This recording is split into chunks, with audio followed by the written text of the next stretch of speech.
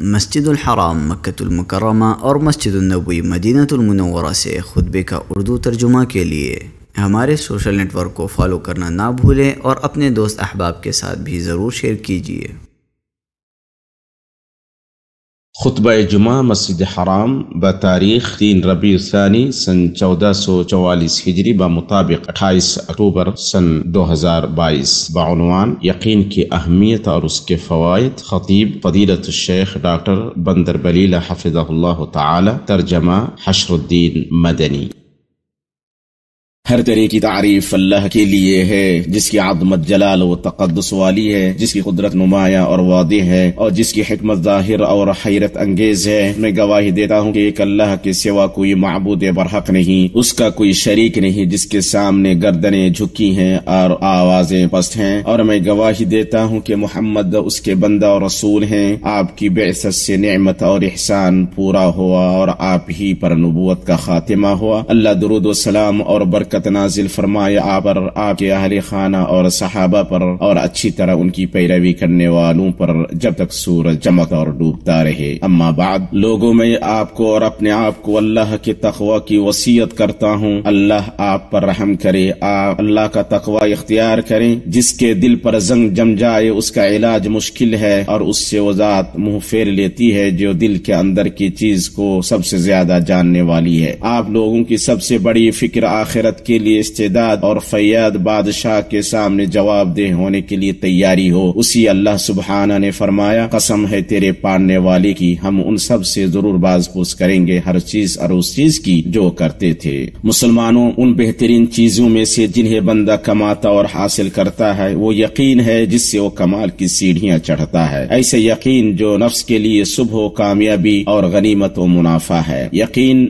فہم کا سکون، علم کا استحکام اور اس اس چیز کے لیے دل کا اطمینان ہے جو اللہ اور اس کے رسول صلی اللہ علیہ وسلم سے آئی ہے۔ یہ ایمان کا مغز، اس کی حقیقت اور جوہر ہے۔ اس میں سبقت کرنے والوں نے باہم سبقت کی، محنت کرنے والے اس کی طرف گامزن ہوئے اور اس کی بدولت عارفین کو ایک دوسرے پر فضیلت حاصل ہوئی۔ اللہ تعالیٰ نے فرمایا، اور جو لوگ ایمان لائے ہیں اور جو لوگ ایمان لاتے ہیں، اس پر جو آپ کی طرف اتارا گیا اور جو آپ سے پہلے اتارا گیا اور وہ آخرت پر بھی یقینی رکھتے ہیں، یہی لوگ اپنے رب کی طرف سے ہدایت پر ہیں اور یہ لوگ فلاح اور نجات پانے والے ہیں۔ بے شک وہ جنت میں داخل ہونے کا سبب ہے۔ نبی صلی اللہ علیہ وسلم نے ابو حر رضی اللہ تعالیٰ عنہ سے فرمایا، میرے جوتے لے جاؤ۔ چار دیواری کی دوسری طرف تمہیں جو بھی ایسا آدمی ملے جو دل کے پورے یقین کے ساتھ لا الہ الا اللہ کی شہادت دیتا ہوں اسے جنت کی خوشخبری سنا دو۔ اسے امام مسلم نے روایت کیا ہے۔ ابو بکر رضی اللہ تعالی عنہ نے کہا، رسول اللہ صلی اللہ علیہ وسلم ہمارے بیچ ممبر پر چڑھے، روئے اور پھر فرمایا، اللہ سے عفو و درگزر اور عافیت طلب کرو، کیونکہ ایمان و یقین کے بعد کسی بندے کو عافیت سے بہتر کوئی چیز نہیں دی گئی۔ اسے امام ترمیدی نے روایت کیا ہے اور حسن کہا ہے۔ ابن مسعود رضی اللہ تعالی عنہ نے کہا، یقین پورا ایمان ہے۔ ابو بکر الوراق رحمہ اللہ نے کہا، یقین دل کا بنیادی جوہر ہے۔ حسن بصیر رحمہ اللہ نے کہا، یقین کے ذریعے جنت طلب کی گئی اور یقین کے ذریعے آگ سے بھاگا گیا۔ یقین کے ذریعے فرائض ادا کیے گئے اور یقین کے ذریعے ہی حق پر صبر کیا گیا۔ اللہ کے بندو، یقین کو یقین ہی سے حاصل کیا جا سکتا ہے۔ بے طور کی اللہ کی معرفت حاصل کی جائے، اس کی طاعت پر عمل کیا جائے اور اس کی خوشندیوں کو تلاش کیا جائے اور نفس شیطان اور خواہشات سے لڑا جائے۔ سنے بے شک یقین کے سب سے عمدہ فوائد اور سب سے خوشگوار نتائج ہیں۔ اس سے دنیا و آخرت میں خوشحالی حاصل ہوگی۔ ابن قیم رحمہ اللہ نے کہا، دنیا و آخرت میں بندے کی درستی یقین اور اور عافیت ہی سے پوری ہوگی۔ یقین بندہ سے آخرت کی سزائیں دور کرتا ہے اور عافیت اس کے دل اور بدن سے دنیا کی بیماریاں دور کرتی ہیں۔ یقین سے اللہ کی نشانیوں سے فائدہ اٹھایا جاتا ہے اور ان کی روشنیوں سے ہدایت حاصل کی جاتی ہے۔ اللہ تعالیٰ نے فرمایا، وہی کام کی تدبیر کرتا ہے۔ وہ اپنے نشانات کھول کھول کر بیان کر رہا ہے کہ تم اپنے رب کی ملاقات کا یقین کر لو۔ اللہ تعالیٰ نے فرمایا، زمین میں یقین کرنے والوں کے لیے نشانیاں ہیں۔ نیز اللہ تعالیٰ نے فرمایا فرمایا، یہ قرآن لوگوں کے لیے بصیرت کی باتیں اور ہدایت اور رحمت ہے، اس قوم کے لیے جو یقین رکھتی ہے، جو یقین کو حاصل کر لے گا، وہ توکل سے سرفراز ہوگا، صبر سے مالا مال ہوگا، اپنے تمام معاملات میں اللہ پر اعتماد کرے گا، اس کے قدا و قدر سے راضی ہوگا، اس کے حق میں مصیبتیں، نوازشات میں اور نقمتیں نعمتوں میں بدل جائیں گی، اور وہ سب سے زیادہ بے نیاز لوگوں میں سے ہو جائے گا، گرچہ دنیا میں اس کا کوئی حصہ نہ ہو۔ اللہ میرے لیے اور آپ کے لیے قرآن عظیم میں برکت دی اور مجھے اور آپ کو نبی کریم صلی اللہ علیہ وسلم کے طریقے سے فائدہ پہنچائے، میں وہ کچھ کہہ رہا ہوں جو آپ نے سنا۔ اور اللہ سے اپنے لیے اور آپ کے لیے اور باقی تمام مسلمانوں کے لیے ہر گناہ و خطا کی مغفرت طلب کرتا ہوں۔ آپ اس سے مغفرت طلب کریں۔ بے شک وہ بڑا بخشنے والا مہربان ہے۔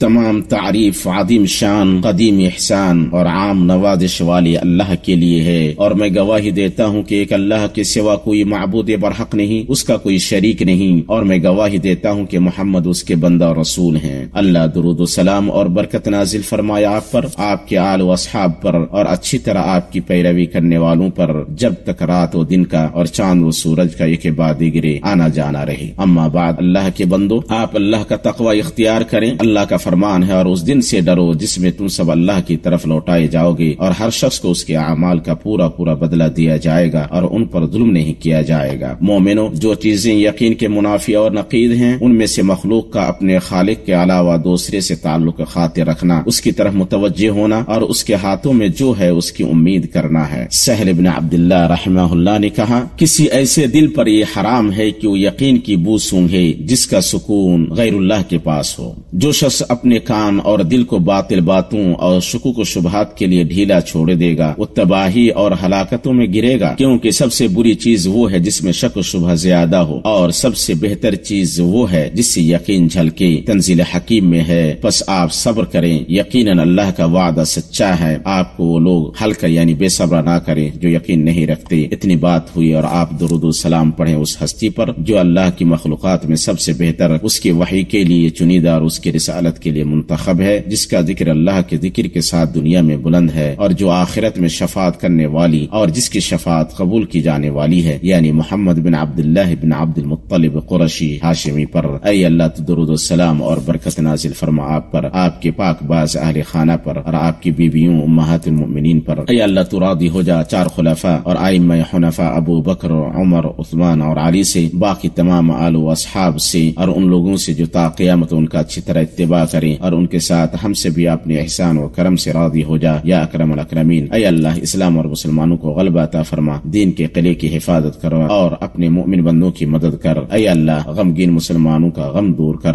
مصیبت زدہ لوگوں کی مصیبت ختم کر۔ قرض داروں کا قرض ادا کر۔ اور ہمارے بیماروں اور مسلمانوں کے بیماروں کو شفا عطا فرما۔ اپنی رحمت سے، یا ارحم الراحمین، اے اللہ، تو ہمیں ہمارے وطنوں میں امن عطا فرما۔ ہمارے سربراہوں اور حکمرانوں کی اصلاح فرما۔ ہم ہمارے امام اور ولی امر کی حق توفیق اور درستی کے ذریعے تائید فرما۔ اے اللہ، تو انہیں اور ان کے ولی عہد کو ایسے کام کی توفیق دے جس میں ملک اور بندوں کی بھلائی ہو۔ یا رب العالمین، اے اللہ، حدود و سرحدوں پر تعینات ہمارے سپاہیوں کو درستی عطا فرما۔ اے اللہ، تو ان کا معین و مددگار بن، ان کی تائید فرما اور ان کا سہارا بن۔ اے اللہ، تو ہمارے لیے اپنا خوف بانٹ دے جو ہمارے اور ہمارے گناہوں کے درمیان حائل ہو۔ اور ہمیں اپنی طاعت و فرما برداری کا وہ جذبہ عطا فرما جو ہمیں تیری جنت تک پہنچا دے اور ہمیں اتنا یقین دے جس کے ذریعے، جس کے سہارے دنیا کی مصیبتیں ہیچ اور آسان ہو جائیں۔ اے اللہ، تو ہمیں ایمان و یقین اور عافیت و نیت عطا فرما۔ اے ہمارے رب، ہمیں دنیا میں بھلائی عطا فرما اور آخرت میں بھی بھلائی عطا فرما اور آگ کے عذاب سے ہمیں بچا لے۔ سبحان ربک رب العزت عما یصفون وسلام علی المرسلین والحمد للہ رب العالمین۔